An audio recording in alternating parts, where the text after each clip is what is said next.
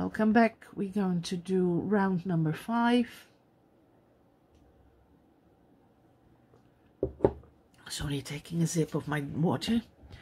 Number five is done in the light background color. I love it how it mixes up the yarn like this. So there. And we're going to change color. Back of your work again. One two immediately. Now you can pull that blue a little bit better. Keep that corner in your eye make it a little bit bigger and put your hook directly through that yarn. I'm guiding the blue yarn up here so it's there for the next stitch or the next round. There. Now we're going to do our first single crochet. Chain one. Mark it if you want. Double mark it just mark that first stitch. It's important when you have the first stitch nothing can go wrong or like me in the previous round you have to make one extra because your stitch doesn't count doesn't work out. One. And this is the corner. Okay we're going to do and now we need to have 29 one. Don't if i have magically 30 i'm going to cry huh? One. Two. Because i had a boo-boo here i made one extra. Three four five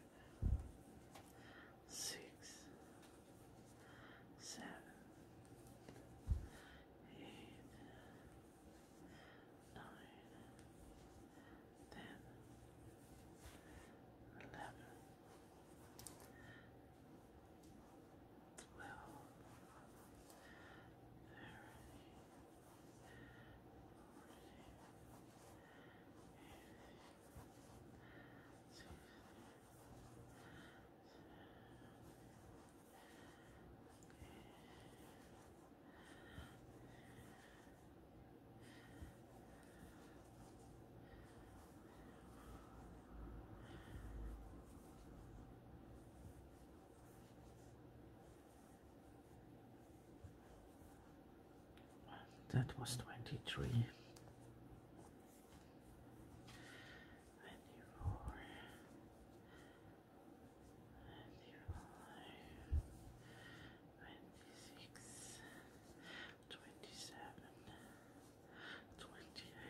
Oh, I'm happy 29 and then is the corner all in the same back loop. There back loop. Chain there your work? And we do another 29 single crochets back loop only one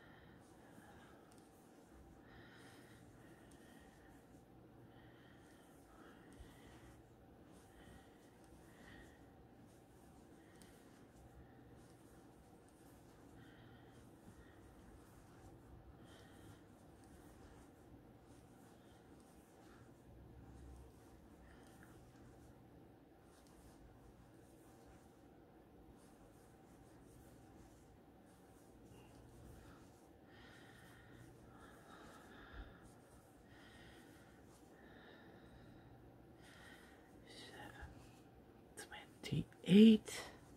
Uh, yes, 29. And then the corner again. And that's the chain here. See, that one doesn't cover anything here. If you pull it a little bit there, this one covers that one. Back loop only. Uh, chain and another single crochet and we do another 29 single crochets in the round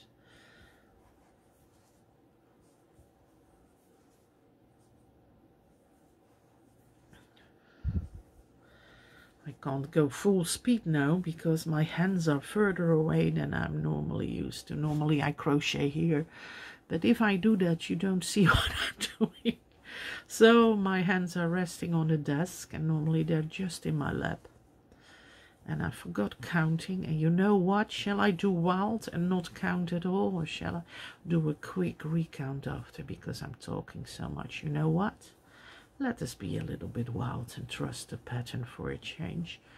Well I can lose stitches. I showed that in a previous row. Ah spannend let's live dangerously and just see when I come to the end and see if I can spot the chain immediately.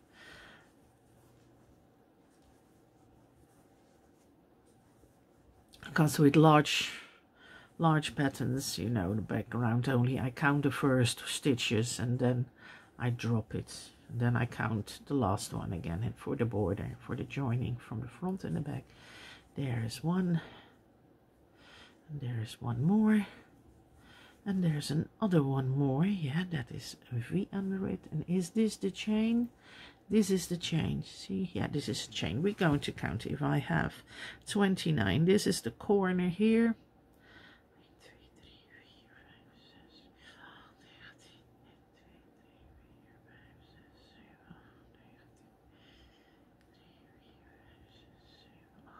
Twenty-nine. Love it when when it plan comes falls into place when a plan falls into place. Wow and a corner and 29 again and that last one is always a little bit difficult it's on the diagonal of that other one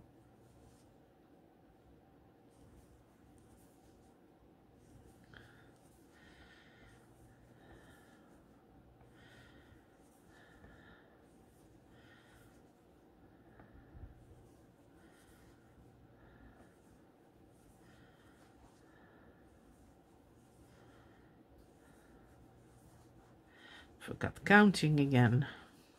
Ah, I'm elsewhere with my head. I'm thinking of another pattern. Oh gosh, I'm horrible. I see patterns everywhere. I see patterns everywhere. Not ghosts, but patterns. They're floating in the air. You can pick them out just like that.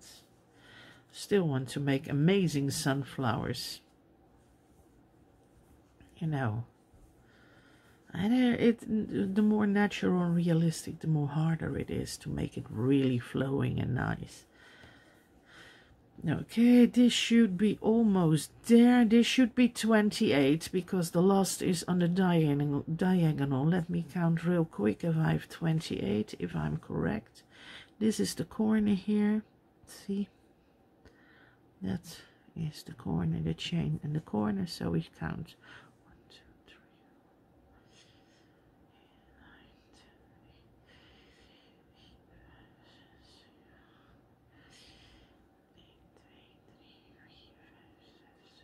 28 now I need to pick up the diagonal here that one.